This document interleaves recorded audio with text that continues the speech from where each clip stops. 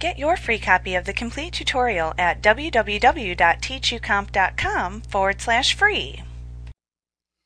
In this lesson, you will learn how to connect your local computer to your remote web host so that you can transfer files to your remote server. Before doing this, you must have obtained a domain name and web hosting service, and you must also have set up your remote site within Dreamweaver. If you haven't done these things yet, you won't be able to connect to a remote site. Let's connect our local computer to the remote site. First, make sure that the Files panel is visible. You may want to grab this panel by the Panel tab and drag to detach it from the main panel grouping. This will make it a floating panel, and you can resize it so that you can see all of your files. Once you have the files expanded in front of you, click the Connect button to connect to your web server.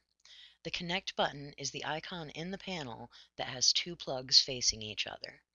When the Connect button changes from two disconnected plugs into two connected plugs, you have established a connection with the remote site.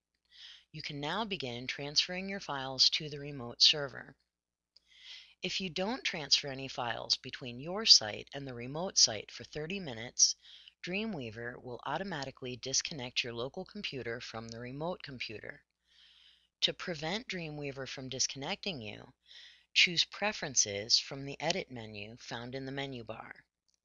This will open the Preferences dialog box. Choose Site from the category menu on the left. You will now see the FTP connection text field. You can click into this text field and change the value or uncheck the box to the left of Disconnect. Changing Dreamweaver's disconnect preferences won't stop the remote host from disconnecting you if you don't transfer files within the host's allotted time. If you change Dreamweaver's disconnect preferences and find yourself still being disconnected, you are probably being disconnected by the remote host. Like what you see? Pick up your free copy of the complete tutorial at www.teachucomp.com forward slash free.